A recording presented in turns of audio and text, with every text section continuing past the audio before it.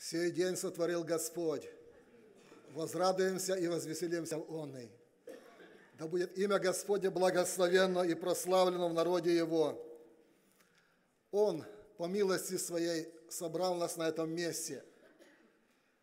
Он сегодня говорит нашим сердцам через песнопение, через проповеди, через различные вещи Господь говорит сегодня каждому из нас – если мы только внимательны к тому, чтобы сегодня Его Слово вселялось в наши сердца, чтобы нам принимать Его Слово, которое Господь говорит каждому из нас в наших собраниях и не только в собраниях. Господь может говорить в различных местах к нам, если мы будем внимательны к Его голосу, к голосу Духа Святого, если мы будем внимательны и принимать то Слово, которое Он старается вложить в наши уши сердечные. Сердечными ушами нужно слушать, чтобы Божье Слово воспринимать, чтобы Божье Слово касалось наших сердец и приносило обильный плод в жизни нашей. Мы пели в этом псалме, что Он достоин всей хвалы. Он достоин, друзья дорогие, действительно, от каждого из нас, находящегося на этом месте, Он достоин хвалы. И если мы сегодня готовы воздать Ему славу, да поможет Господь, чтобы наши сердца, они были открыты для этого, и наши уста, чтобы открывались для прославления Его святого имени. Аллилуйя, слава Господу! В основании моей проповеди сегодня я хочу прочитать первое послание Петра, 4 глава, 10 стих. Первое послание Петра, 4 глава, и 10 стих. «Служите друг другу, каждый тем даром, какой получил, как добрые домостроители, много различной благодати Божией. Служите друг другу. Апостол Петр призывает верующих людей служить друг другу. Именно он призывает не каких-то особенных людей, но Господь через Петра побуждает, чтобы каждый служил друг другу тем даром, какой получил. Знаем ли мы сегодня, чего Господь желает от нас? Знаем ли мы сегодня, чем мы можем служить друг другу? Каким даром мы можем служить сегодня в Церкви Божией. И, возможно, не только в церкви, но и поза церковью. Наше служение Богу, оно не только в церкви. Некоторые люди имеют такое мнение, что вот служение Богу вот здесь происходит, наверху, на возвышенности этой. Но я скажу нет и нет. Это тоже, да, но не только.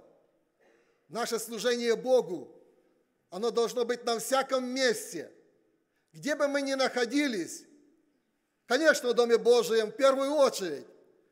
Мы должны видеть друг друга, мы должны замечать друг друга, видеть нужды нашего брата и сестры нашей, видеть тех людей, которые, возможно, были вчера рядом со мной в собрании сидели, а сегодня их нету здесь. Почему? Что произошло? Что случилось? Что сегодня нет этого человека, который сидел рядом со мною в доме молитвы. Что произошло? Готов ли я сегодня служить Господу моему и таким образом служить брату моему и сестре моей? Церкви Божией. Многие люди говорят, ну как я могу послужить? Вот такой вопрос, как могу я послужить? Бывают люди в церкви, которые являются только прихожанами, которые приходят садятся на свое место, возможно, уже из года в год сидят на одном и том же месте. Но кроме того, что они пришли сюда на это место посидеть, возможно, больше ничего, ничего они не делают. Да, пришло время, когда они покаялись во грехах своих. Да, пришло то время, когда они приняли святое по вере водное крещение. Возможно, было то время, когда крестил их Господь Духом Святым – и что, разве это все, друзья мои дорогие? Разве это все, чего мы старались достигнуть в жизни нашей? Или, возможно, мы должны возрастать ежедневно? служа нашему Господу и служа друг другу. Как мы сегодня служим нашему Господу, мы можем дать ответ каждый для себя лично. Я не хочу, чтобы вы сегодня говорили вслух, но каждый себе. Давайте зададим вопрос. Нашел ли я свое служение Церкви Божией? Церковь Божья – это является столбом и утверждением истины. В другом месте мы читаем, что Церковь Божья – это тело Господа нашего Иисуса Христа. И Господь заботится о церкви своей. Да, Господь заботится. Но мы, как члены этой церкви, как члены друг другу, мы со своей стороны должны проявлять также внимание друг к другу. Особое внимание каждому из нас. К тем, которые рядом с нами. К тем, которые сегодня в доме молитвы находятся с нами вместе. Замечаем ли мы этих людей? Обращаем ли мы свое внимание на них? И насколько мы сегодня готовы служить друг другу? Это Господь возлагает ответственность на каждого из нас, чтобы мы могли послужить каждый тем даром, который получили от Господа, как мудрые домостроители, как добрые домостроители многоразличной благодати Божией. Да поможет нам Господь быть чуткими к голосу Духа Святого. Да поможет нам Господь, чтобы действительно мы могли быть использованы Господом в этом служении, в служении друг другу. Вы знаете о том, как говорил Иисус, что будут люди, которые скажут, Господи, а где мы видели Тебя таким или таким или таким? А Господь отвечает им, если вы сделали это одному из меньших всех братьев моих, то это самое вы сделали для меня. Это вы сделали мне. Вот так Господь говорит. Господь побуждает сегодня народ свой, верующих людей, которые приняли Иисуса Христа как своего личного Спасителя, чтобы они служили Господу и служили друг другу. Это очень важно. Знаете, мне раз приходилось наблюдать мне американцев, которые уже в таком пожилом преклонном возрасте, у которых, оказывается, так слабые физические силы, но они как-то по мере своей возможности стараются еще служить как-то. Они где-то волонтерят, они стараются делать по мере своих сил, возможно, даже сверх сил, я бы сказал – я думаю, что они научены этому. Возможно, в наших церквях это мало говорится об этом. Мало сегодня уделяется внимание тому, чтобы каждый человек, как здесь Петр говорит, служите другу каждый тем даром, то есть каждый, никого не исключаем мы сегодня. Слово Божие никого не исключает. На что ты способен сегодня? Ведь нет людей таких, которые ни на что не способны. Таких людей не существует. Конечно, не все люди одинаково способны. Есть разные способности у людей, и человек от человека отличается. Мы все не одинаковые. У нас разные характеры, у нас разный темперамент, у нас разные способности, разные возможности. Но это все содействует к тому, друзья мои, чтобы каждый из нас мог включиться в труд для славы Божией. В этот труд включиться, чтобы служить друг другу и служить нашему Господу. Это очень важное служение, которое должно быть у каждого человека стремление делать что-то для славы Божией. Да поможет Господь каждому из нас. Читание, читаем послание к римлянам, 12 глава, 12 глава Римлянам 4 стиха. «Ибо как в одном теле у нас много членов, но не у всех членов одно и то же дело, так мы многие составляем одно тело во Христе, а порознь один для другого члены». Итак, апостол Павел в послании к Римлянам говорит, что у нас в одном теле есть много членов. В нашем теле, физическом, есть много членов – и мы знаем, что в нашем физическом теле члены всегда заботятся друг о друге. Если какая-то проблема у какого-то члена возникает, мы стараемся. Другие члены нашего тела не стараются, чтобы помочь, исправить то, в чем нуждается наше тело. Они не противодействуют друг другу, но они взаимодействуют. Члены нашего физического тела всегда взаимодействуют друг с другом и помогают друг другу. Если уже какой-то член не работает, или, возможно, у кого-то отсутствует какой-то член, мы называем, что это люди с ограниченными возможностями. Это люди, которые инвалиды, возможно. Это неполноценные люди, физическое тело неполноценное у них. Но, друзья дорогие, если тело здоровое, если все члены на месте, то каждый член нашего тела, он исполняет то, что ему должно исполнять. Наши ноги всегда ходят, и какой-то другой член не замещает их. Правильно, друзья мои? Может ходить на руках, там какой-то может быть акробат где-то там в цирке. А так мы все ходим ногами своими. Так Господь сотворил каждого из нас. И Господь желает, чтобы мы в теле Господнем также, каждый имели свое предназначение. Если до этого времени мы еще не определились с этим, если до сего часа мы еще не знаем, что нам делать в Церкви Божией, то нужно понуждаться пред Господом. Молитвенно. Просить у Него помощи, чтобы Господь открыл каждому из нас, чем нам заниматься в Доме Божием. Чем мы можем послужить людям, которые еще не знают Господа. Людям, которые знают Господа также. В Церкви Божией. Да поможет Господь сегодня каждому из нас, подобно как тело физическое наше, оно взаимодействует все члены, также, чтобы и мы в теле духовном, которое есть церковь, это тело Христово, чтобы мы могли быть полезными друг другу, чтобы мы не были только прихожанами в Доме Божьем, чтобы мы не только могли там осудить того или другого человека, вот тот неправильно сделал – а я знаю, что он будет уже проповедовать, я знаю. И другое, и третье, тому подобное. Друзья мои дорогие, братья и сестры. Да поможет Господь каждому из нас иметь страх Божий, чтобы действительно служить Богу от сердца нашего, от всей души нашей, от всего разума нашего. Чтобы сегодня каждый из нас мог получать благословение через братьев наших и сестер наших которые окружают нас. Каждый в отдельности. У каждого, как я сказал, свой труд должен быть. Так же, как в теле нашем, все члены имеют свою функцию.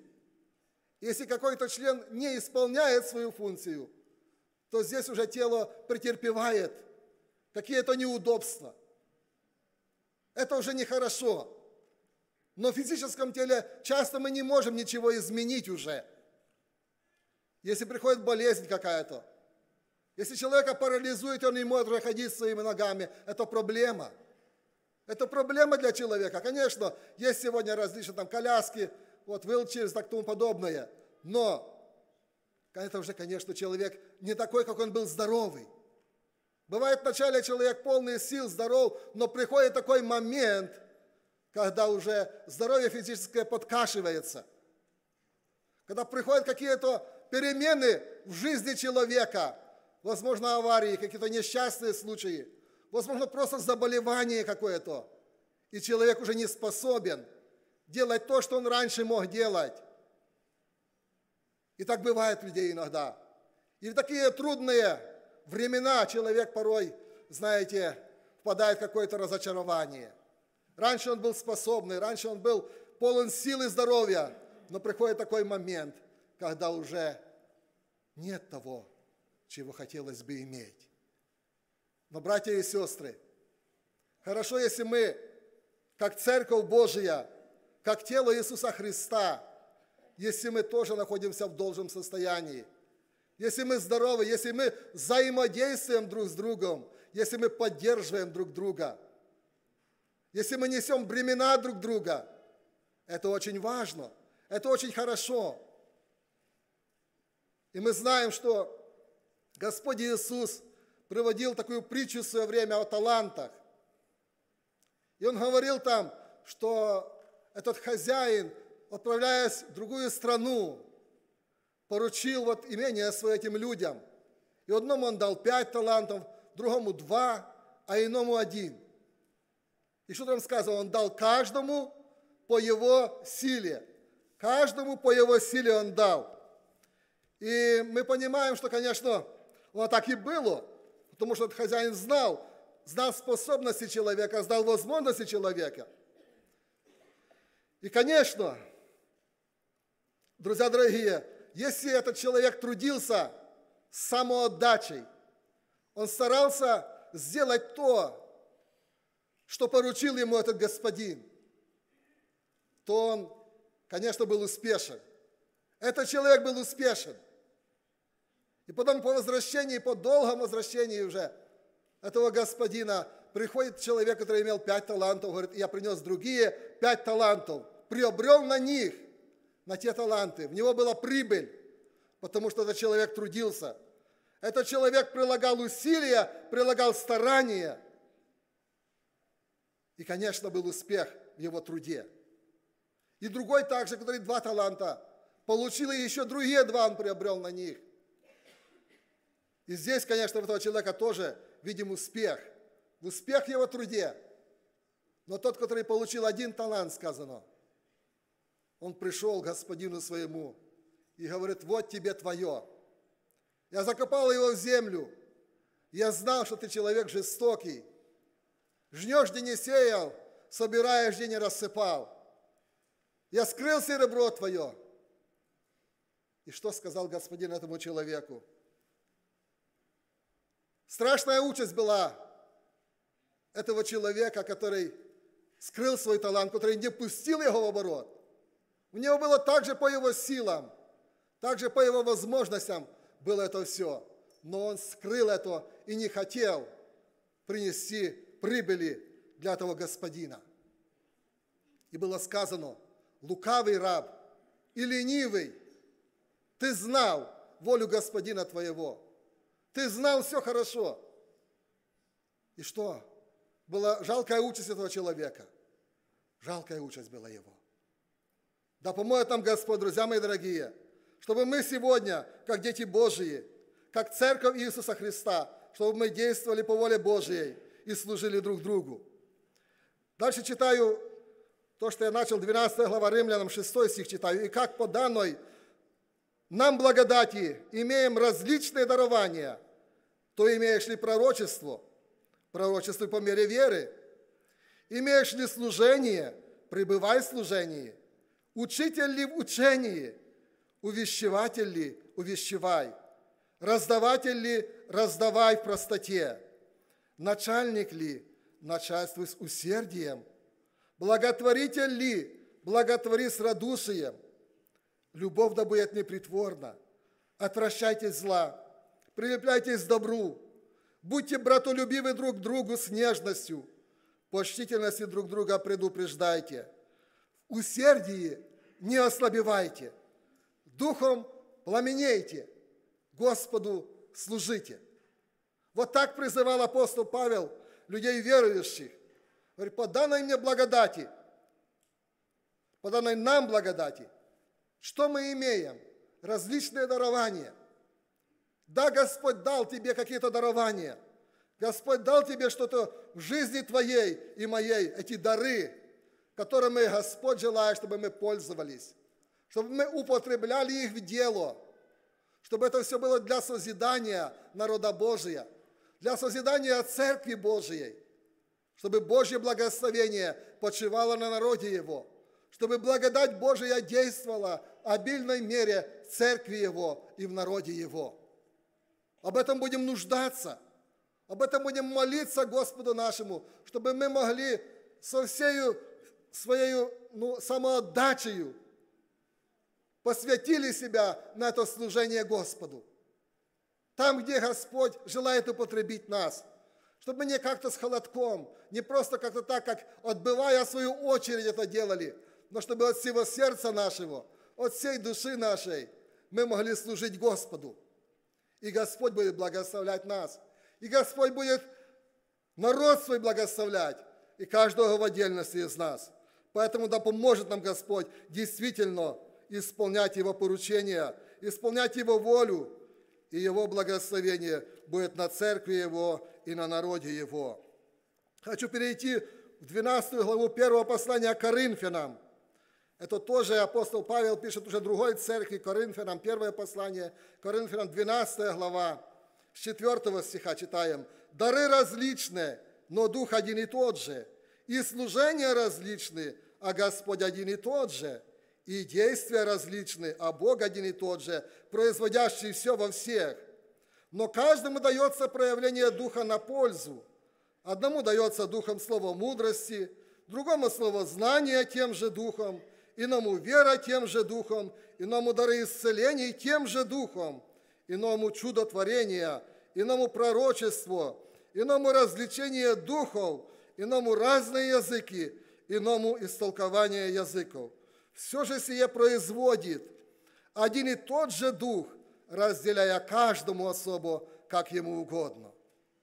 Ибо как тело одно, но имеет многие члены, и все члены одного тела, хотя их и много, составляют одно тело, так и Христос. Ибо все мы одним духом крестились одно тело, иудеи и елены, рабы или свободные, и все напоены одним духом. Тело же не из одного члена, но из многих.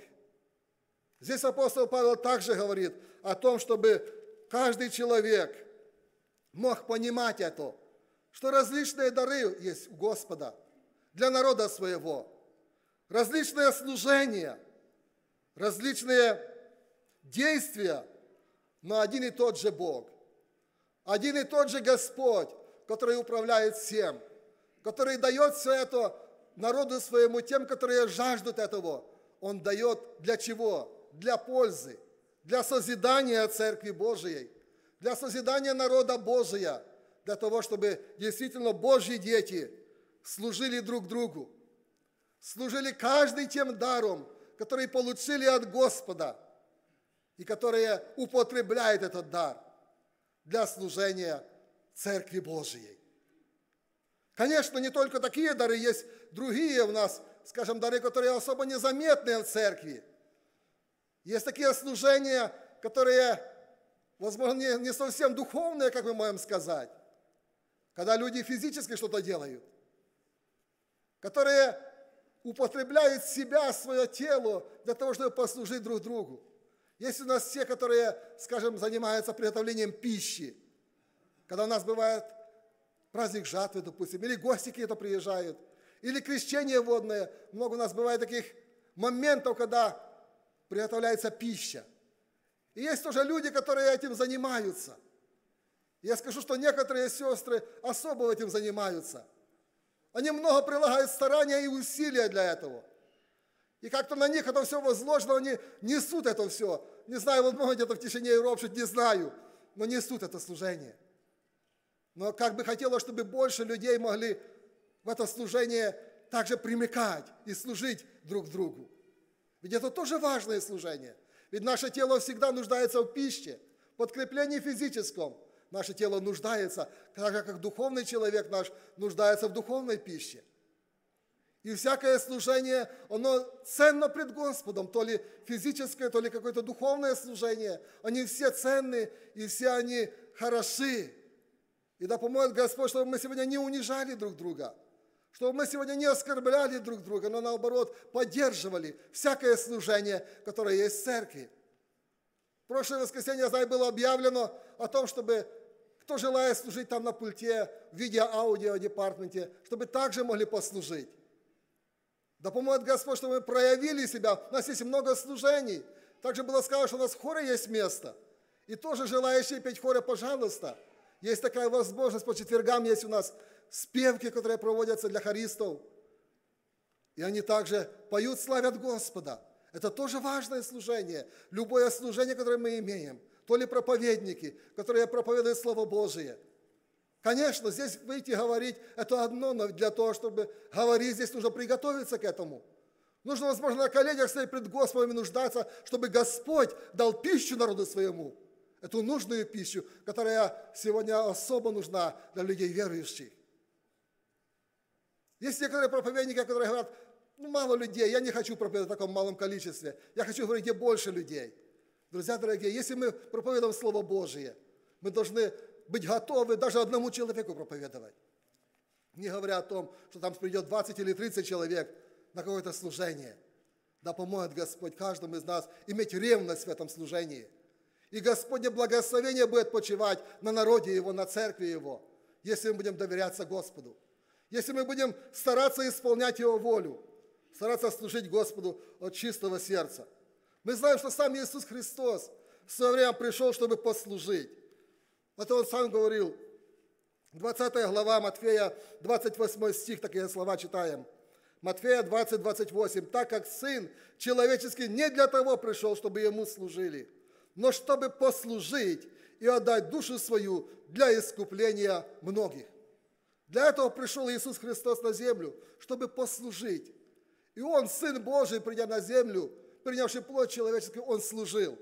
Он служил, Он умывал ноги ученикам Своим. Петр говорил, не омоешь ног моих вовек.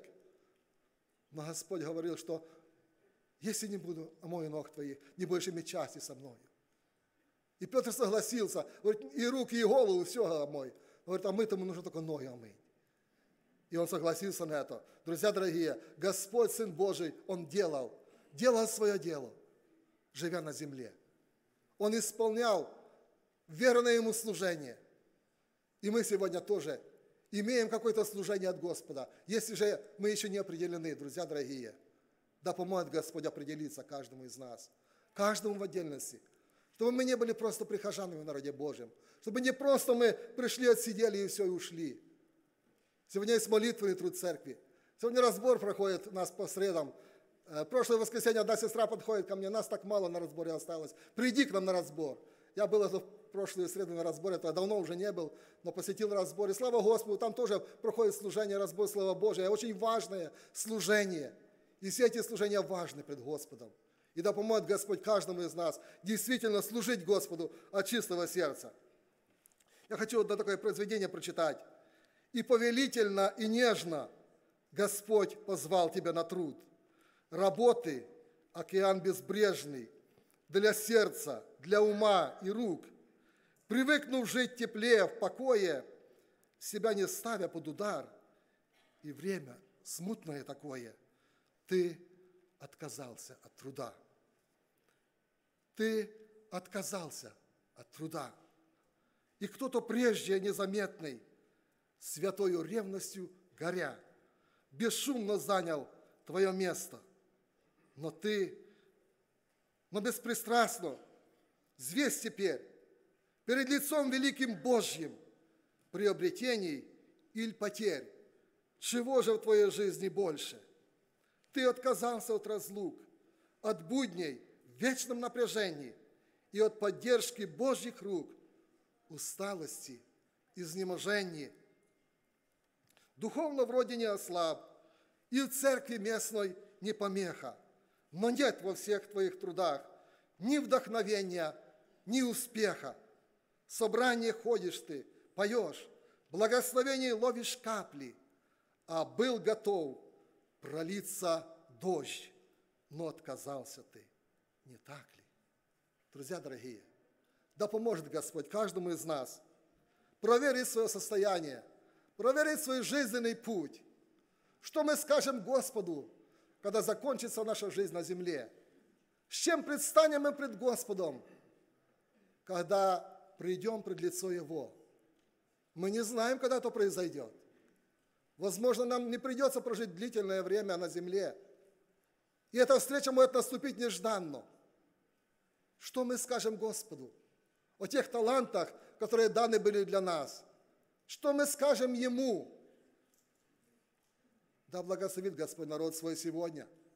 Да поможет Господь каждому из нас принять правильные решения в жизни своей, чтобы служить Господу и служить друг другу от чистого сердца нашего, от всей души нашей – от всего разума нашего.